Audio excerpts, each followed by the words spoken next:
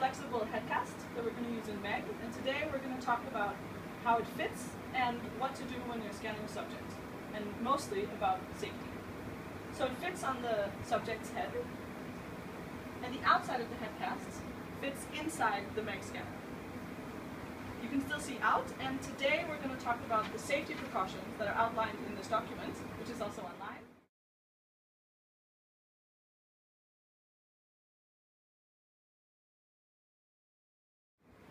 So the first thing you want to check when the subject comes is that they fit into the headcast and they know what it feels to be inside the dewar.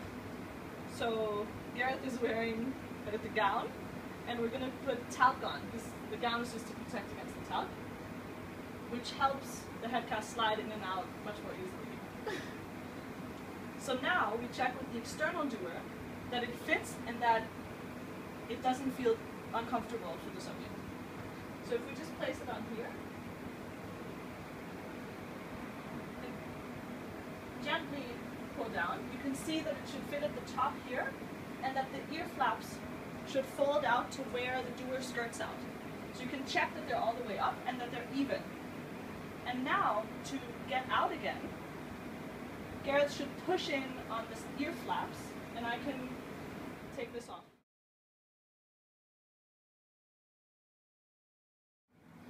So because the subject's head is going to be fixed very firmly inside the dewar, it's very, very, very important that no mechanical parts move while they're wearing the head. Just position the subject as you normally would. So raising them up into the MEG, MEG scanner without the head cast on. Mm-hmm. We now lock all the controls. So nothing can move, not the not the scanner and not the chair and not the back of the chair. Everything is locked throughout the whole experiment.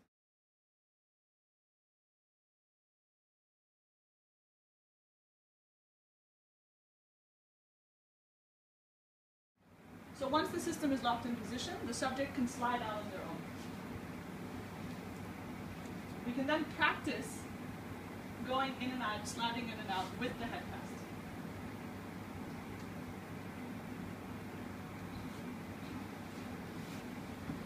And here you can check again that they're at the top with the eye holes and that the sides are also touching where it skirts out.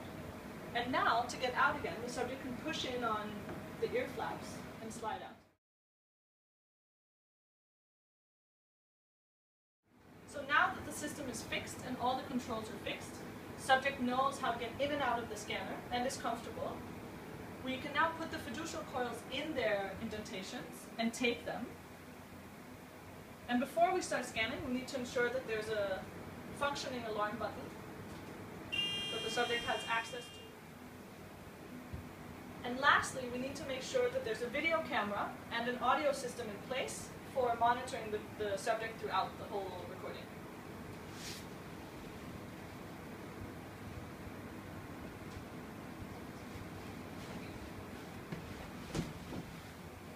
So as you can see from the amount of maneuvering needed on the subject's part, we only use healthy, young, normal participants because they need to be able to maneuver out on their own.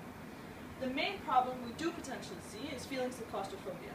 So we try to screen for that before the subject comes into the scanner when we wear the external dewar, and also in here by letting the subject practice getting in and out on their own. Another very important point is that we only scan while the subject is sitting up. This is because it's much more vulnerable to be laying down in case anything should happen with the mechanics of the scanner. So sitting down ensures that it's much easier and safer for the person to get out and to protect their neck so in case of any unforeseen circumstances where you need to get the subject out without their cooperation, you use the same method as they do for getting out. So you push in on the ear flaps, and then you push down with the heel of your, of your hand on their shoulders. So here, the subject just slides out.